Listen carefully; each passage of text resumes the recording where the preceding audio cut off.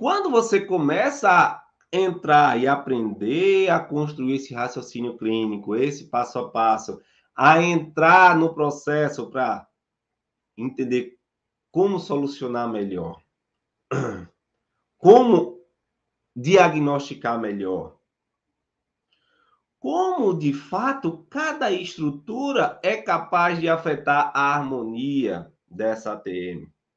Você começa a entender que, putz, de fato, a ATM tem justificativa de estar tá doendo. Não é só a questão de um disco, não é só a questão do masseter, não é só a questão do temporal. Existem estruturas que de fato estão comprometidas e precisam ser estimuladas para corrigir o desequilíbrio do temporal. Faz sentido aí para vocês ou não? Veja, é difícil, é complexo o ATM? Não. Você só precisa ser apresentado a isso. Você só precisa ser conduzido de uma forma metodológica, você precisa de um método que ensine a entender o que cada estrutura é capaz de afetar na dinâmica desse temporal. Faz sentido ou não? E é essa coisa que falta, que essa negligência durante o ensino da ATM, da disfunção da ATM da DTM, que faz com que você não entenda que técnica utilizar. Você entenda por que o paciente não melhora.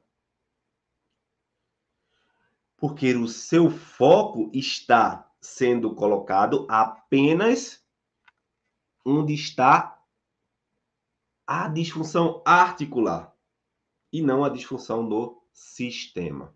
Veja, eu estou na base do processo dando clareza a você. Já que você não aprendeu nada na faculdade, já que você vê o crescimento da quantidade de pacientes, eu preciso dar clareza. Agora a gente, ó, falou do temporal. E veja como é uma oportunidade clara você entender isso. Porque poucas pessoas sabem disso. Poucas pessoas sabem. Escrevam aí. Isso você tem consciência mas escrevam para gerar ainda mais consciência. Poucas pessoas sabem isso.